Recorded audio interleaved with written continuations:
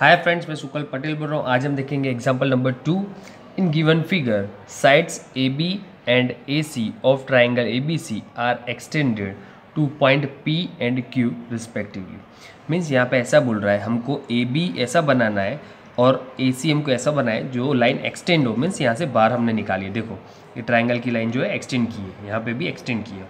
और यहाँ पे ऐसा बोला है कि ए बी के ऊपर पी और ए सी के ऊपर क्यू यहाँ पे हमको रखना है। तो हमने रख दिए यहाँ पे। Also P B C means P B C वो छोटा है मीन्स छोटा है। किससे? क्यू सी बी से मीन्स क्यू सी बी से। तो इस इट मीन्स दैट ये बड़ा है एंगल और ये एंगल छोटा है। ओके फिर show that A C greater than A B means यहाँ पे ऐसा बताना है कि साइड ए सी है, जो मीन्स ये वाली साइड है, बड़ी है और ये वाली छोटी है। ओके? तो यहाँ पे ये बड़ी है, ये छोटी हमको याद रखना है।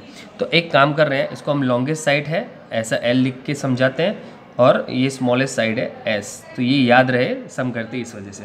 अब आप बोलोगे कि, सर, कि ये कॉन्सेप्ट में क्या है? पहले ये क्वेश्चन ये क्वेश्चन क्या नॉर्मल बेसिक कॉन्सेप्ट समझ लेते हैं। सपोज़ मैं एक लाइन ड्रॉ कर रहा हूँ। अब ये लाइन के अंदर आप सिंपल सा बात समझ लो। सपोज़ मैंने यहाँ पे एक एंगल बनाया, ये वाला मैंने एक एंगल बनाया। ये स्ट्रेट लाइन है, मैंने एंगल बनाया।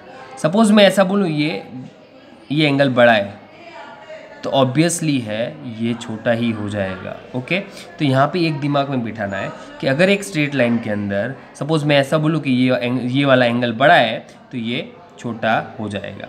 सेम थिंग अगर ऐसा बोलें कि स्ट्रेट लाइन के अंदर एक एंगल बनाए, अगर ये छोटा है तो ये ऑटोमेटिकली बड़ा हो जाएगा। ओके तो हम अगर दूसरी स्ट्रेट लाइन लें, यहाँ से मैंने ऐसे बनाया। अब मैं बोलूँ ये वाला एंगल छोटा है तो ऑटोमेटिकली ये वाला बड़ा हो जाएगा स्ट्रेट लाइन के अंदर। ओके तो ये आपको याद रखना है। सेम यहाँ पे इसके ऊपर यही फॉलो किया ये एग्ज़ाम्पल में। तो लो, हम स्टार्ट कर रहे हैं। Let say angle P B C is is X means हमको पी बी सी इसको हम एक्स बोल रहे हैं। और B C Y B C Q को हम वाई बोल रहे हैं ओके तो यहाँ पे क्या है कि एंगल यहाँ पे ये angle means X plus angle A B C is equal to one eighty ये कैसे किया आपको बताऊँ? देखो पी बी सी ये वाला एक्स है और दूसरा ए बी सी मीन्स ये ये वाला हमको फाइंड करना था ओके तो हमने क्या किया यहाँ पे? ये एक स्ट्रेट लाइन है। ये हमारी एक स्ट्रेट लाइन ओके तो स्ट्रेट लाइन का फॉर्मूला क्या है? This angle plus this angle is equal to one eighty होता है. मैंने आपको बताया था, फिर भी एक बात बता रहा हूँ.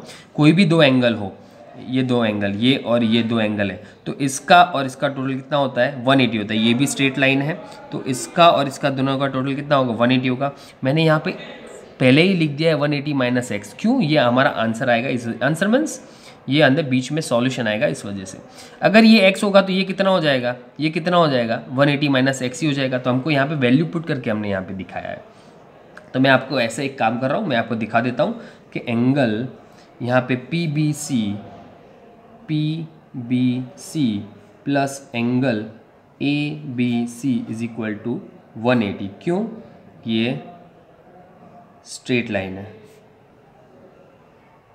स्ट्रेट लाइन में क्या होता है? ये और ये एंगल का टोटल कितना होता है? 180 हो जाता है। तो पी बी सी तो हमको कितना दिया हुआ एक्स सपोज़ किया हमने तो यहाँ पे एक्स लिख दिया। ए बी सी का एज इट इज़ लिखा is equal to one okay तब एक्स एक्स को हम इक्वल टू के दूसरे साइड ले जाएँगे तो माइनस हो जाएगा ओके सिमिलरली हमने ये साइड के लिए किया ओके तो यहाँ पे कैसे होगा? आप समझ सकते हैं कि सर ए सी बी और B C Q angle A C B plus angle B C Q is equal to one eighty हो जाएगा।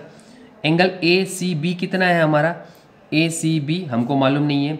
और बी सी क्यू कितना है? बी सी क्यू हमारा वाई। तो ये हमारा वाई था। फिर हमने क्या किया? यहाँ पे एक एक स्टेप और लिख रहा हूँ कि एंगल ए सी बी हमारे पास मालूम नहीं है।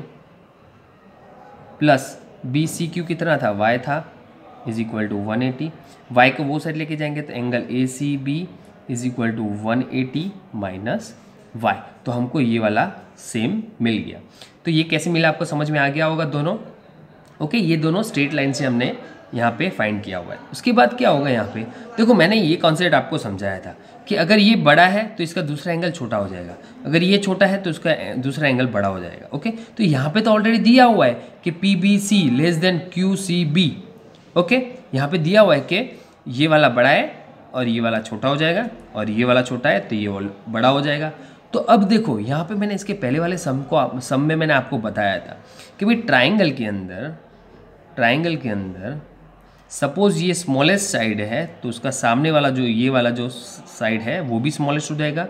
अगर ये वाला लॉन्गेस्ट साइड है तो उसका सामने वाला जो भी साइड होगा, वो लॉन्गेस्ट हो जाएगा मीन्स बड़ा वाला।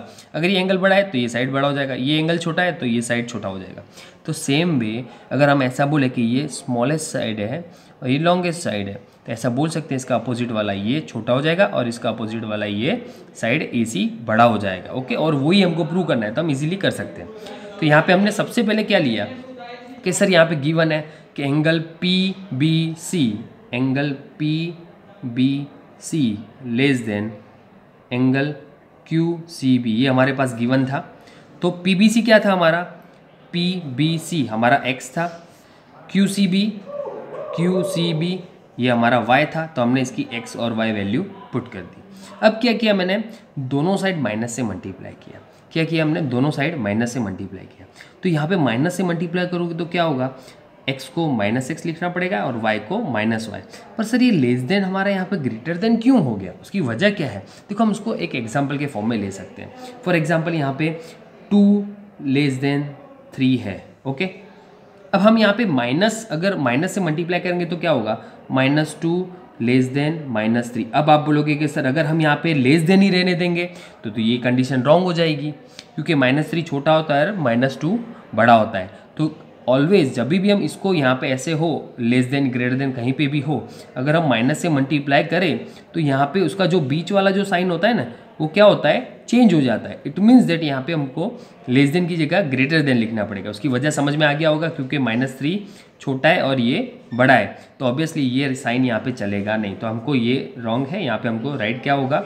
Minus two greater than minus three तो इट मीन्स दैट जब भी कोई लेस देन ग्रेटर देन आए और माइनस से हमको मल्टीप्लाई करना पड़े तो साइन ऑटोमेटिकली चेंज हो जाता है। तो यहाँ पे लेस देन की जगह हमने ग्रेटर देन लिख दिया। तो आपको समझ में आ गया होगा। अब हम क्या करेंगे? दोनों साइड 180 ऐड कर देंगे। तो 180 eighty minus X one eighty minus Y अब 180 एटी माइनस एक्स तो क्या था? ये हमारा, ये वाला एंगल था। सॉरी, ये वाला एंगल था एक्स और 180 eighty one eighty minus Y क्या था? ये वाला एंगल था। ये दोनों का दोनों का वैल्यू जो था हमने ए बी सी और ए सी बी ये दोनों हमने रख दिया। अब ए बी सी क्या था?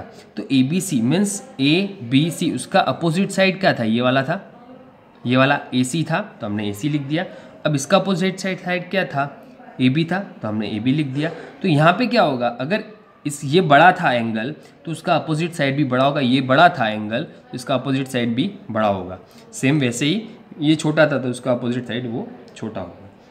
यहाँ पे प्रूव हो रहा है A C greater than A B तो मीन्स ये आपको समझ में आ गया होगा। अगर आपको ये वीडियो पसंद आए तो प्लीज़ ये चैनल को सब्सक्राइब करें अपने स्कूल फ्रेंड्स के साथ शेयर करें। Thank you for watching this video